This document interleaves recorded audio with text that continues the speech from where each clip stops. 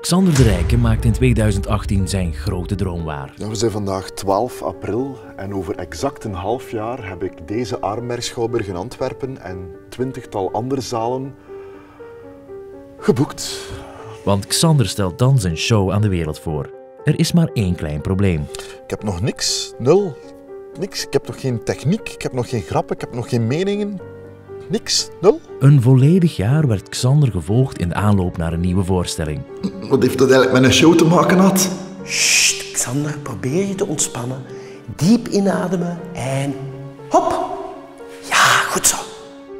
De kritiek was niet altijd even mals, maar het bracht hem wel dichter bij zijn fans. Ik heb eh, net mijn nummer op Facebook gezet en nu kunnen de fans mij rechtstreeks contacteren.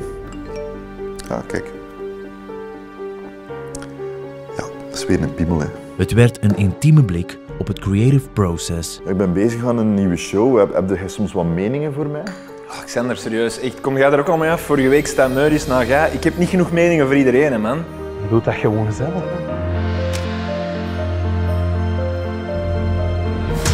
Xander maakt een show. Ja, dat is weer een piemel, hè. Mo, het is Bart.